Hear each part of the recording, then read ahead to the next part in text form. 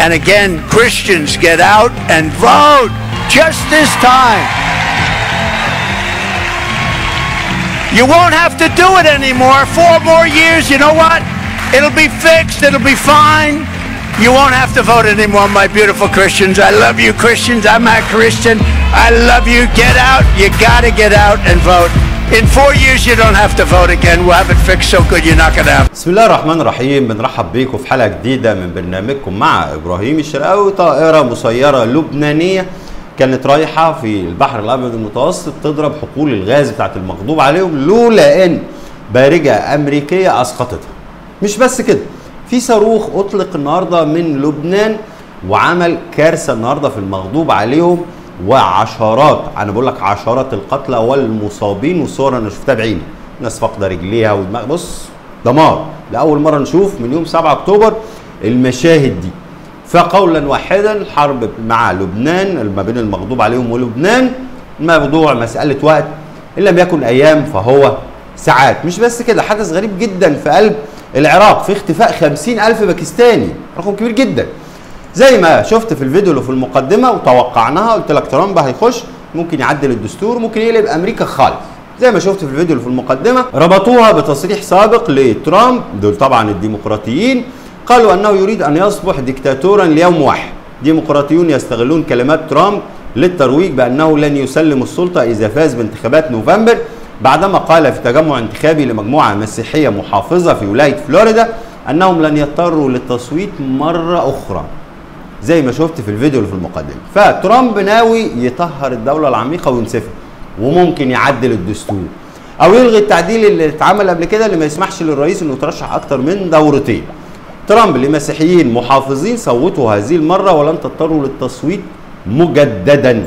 أثار المرشح الجمهوري لانتخابات الرئاسة الأمريكية دونالد ترامب والذي قال العام الماضي أنه يتمنى لو أنه أصبح ديكتاتورا ليوم واحد المخاوف بشأن إمكانية عدم تسليمه للسلطة إذا فاز بانتخابات نوفمبر بعدما قال للحضور في قمة للمسيحيين المحافظين لن تضطروا إلى التصويت مرة أخرى زي ما شفت حضرتك في الفيديو اللي في المقدمة. أما اللي ظهر قدام حضرتك ده سيبك من أي كلام بيتقال الحزب الديمقراطي هو الحزب الجمهوري كمالا هاريس هو جو بايدن هو دونالد ترامب في موضوع القضية بتاعة المغضوب عليهم والقضية الفلسطينية. أي حد يحاول يملك زي كمالا هاريس أو الحزب الديمقراطي إنه لا ما فيش الكلام ده الحرب دي اتعملت وتم التخطيط ليها والأسلحة ليها وكل حاجة والموافقة والضوء الاخضر من الحزب الديمقراطي. سيبك من اللي بيضحك عليك كمالا هاريس وغيرها كل اتنين وجهان لعملة واحدة. وادي ترامب بيستقبل رئيس وزراء المغضوب عليهم وزوجته في المنتجع بتاعه في فلوريدا مارالاجوا في فلوريدا وما إلى ذلك. ومش بس كده انتقد ترامب ينتقد غياب هاريس عن خطاب رئيس الوزراء المغضوب عليهم وقال لا تحب المغضوب عليهم هو بيزايد عشان يكسب التصويت يكسب اصوات لعبة انتخابية لا أكثر ولا أقل. وبرضه طلع قال إذا لم أفز في الانتخابات فانتظروا الحرب العالمية الثالثة. الرئيس الأمريكي دونالد ترامب يقول خلال اجتماعه مع رئيس الوزراء المغضوب عليهم في مقر إقامته بولاية فلوريدا إننا أقرب ما يكون لحرب عالمية ثالثة. من أي وقت مضى منذ انتهاء الحرب العالمية الثانية؟ وقال هتحدث حرب كبيرة جدا في المنطقة وما إلى ذلك. If we win, it'll be very simple. It's all going to work out and very quickly. If we don't, you're going to end up with major wars in the Middle East and maybe a third world war. You are closer to a third world war right now than at any time since the Second World War. You've never been so close because we have incompetent people running our country. ولسه بايدن وملك الأردن بيشتغلونا برضه. ملك الأردن والرئيس الأمريكي يبحثان هاتفيا جهود وقف إطلاق النار في القطاع. أي كلام بقى لنا سبع ثمان شهور بنسمع الكلام ده. ولا ده هيعمل حاجة ولا ده يعمل حاجة. هم دلوقتي مين اللي هيخلي هينفذ طلبات رئيس وزراء المغضوب عليهم؟ هو ترامب. خلاص أنا هدعمه. كمالا هاريس أنا هدعمها خلصت. الاثنين وجهان لعملة واحدة. ما تسمحش لحد يخدعك. هاريس توقع استمارات ترشحها رسميا للانتخابات الرئاسية. عشان الكلام اللي إحنا قلناه وكان بيتقال في أمريكا بكثرة آه ترامب مش هيخش معاها. أي مناظرة لما تبقى مرشحة رسميه مش هسمح لكم تلعبوا بيا. فطلعت النهارده توقع استمارات ترشحها رسميا للانتخابات الرئاسية. استطلاع وول ستريت جورنال هاريس تقلص الفارق عن ترامب.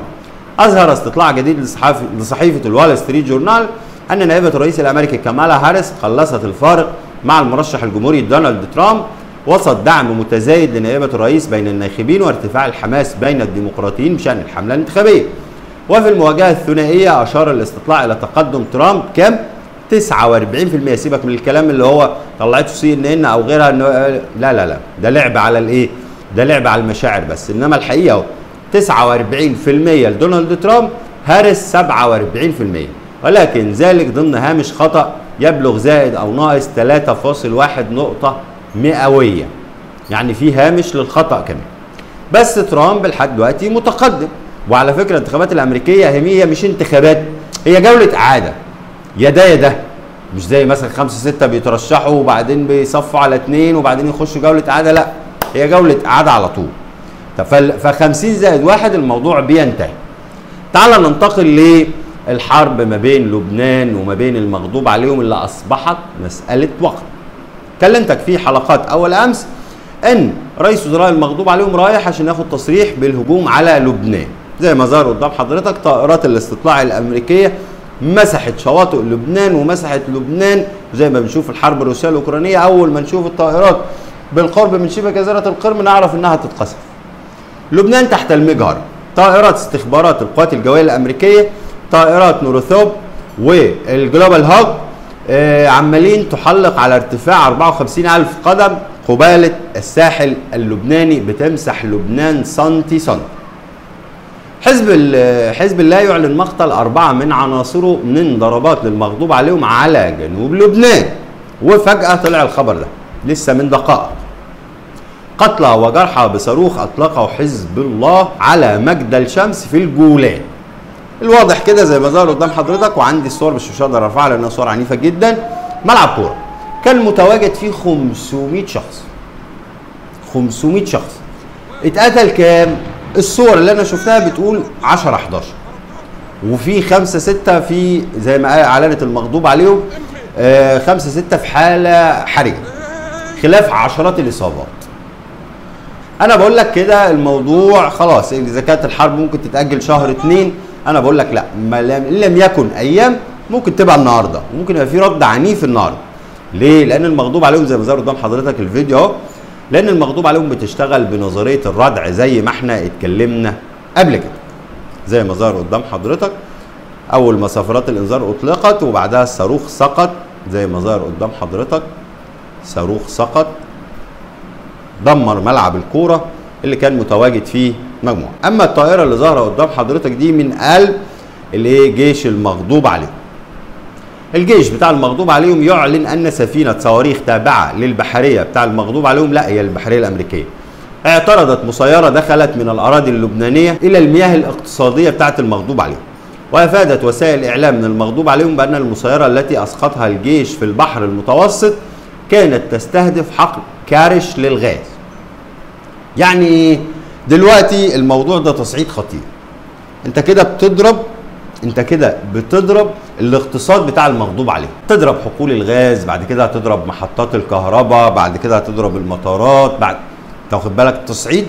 فانت لو ضربت بالفعل حقول الغاز انت كده شليت المغضوب عليه فما بالك؟ لو ضربت محطات الكهرباء. فالحرب مع لبنان مختلفة 180 درجة عن الحرب مع أهلنا وناسنا في القطاع.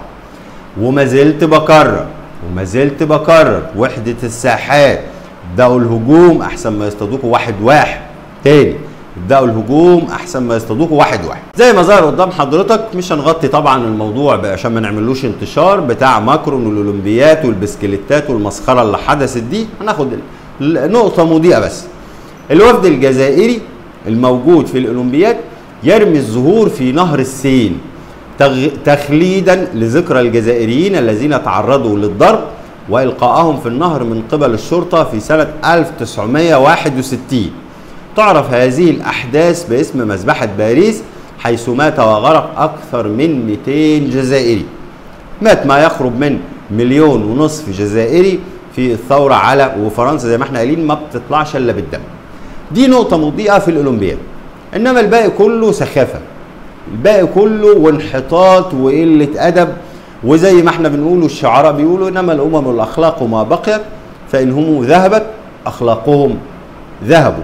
الحضارة الأوروبية بتنهار شاء من شاء وأبى من أبى الخبر الغريب بقى اللي من امبارح أنا شايفه مش فاهمه. وأتمنى أهلي وناسي في العراق يشرحوا لنا القصة دي إيه. حملة أمنية في العراق ضد الباكستانيين الموجودين بطريقة غير شرعية. طلعت باكستان أعلنت إن في خمسين ألف باكستاني مف- مفقود في العراق. خمسين ألف! ده رقم كبير جدا مش واحد ولا خمسين ألف! قال مصدر أمني عراقي إن عمليات اعتقال واسعة تنفذها الشرطة العراقية تستهدف الباكستانيين الموجودين في العراق بطريقة غير شرعية. باكستان شيعة. آه، تصريح المسؤول العراقي يأتي بعد كشف وزير باكستاني عن اختفاء عن اختفاء. خمسين ألف من مواطنيه في العراق بعدما سافروا إلى هناك بغرض السياحة الدينية. بقول لك الخبر عندي من امبارح بس مش فاهم يعني إيه. اللي يقول مثلا أنا فكرته خبر غلط. اللي يقول أنا اختفى خمسة عشرة إنما خمسين ألف. اختفاء خمسين ألف. وكان وزير الشؤون الدينية الباكستاني قال خلال إحاطة برلمانية أدلى بها أمام اللجنة الدائمة للشؤون الدينية بمجلس الشيوخ إن خمسين ألف مواطن فقدوا في العراق بعد وصولهم بغرض زيارة الأضرحة الدينية. ولم يكشف الوزير عن الفترة الزمنية التي اختفى فيها هؤلاء الزوار وغالبا ما يسافر آلاف الحجاج الباكستانيين إلى إيران والعراق وسوريا لزيارة الأضرحة الدينية في هذه البلدان كل عام اللي هم باكستاني الشيعة. يعني فخمسين ألف سافروا. تقوم الشرطة العراقية تقبض عليهم وانتوا عندكم سجون تشيل خمسين ألف وافد جايين من بره؟ طب وبتقبضوا عليهم ليه؟ ما ترحلوهم. ولا في تجارة أعضاء ولا هو في إيه بيحصل في العراق؟ خمسين ألف ده رقم كبير جدا.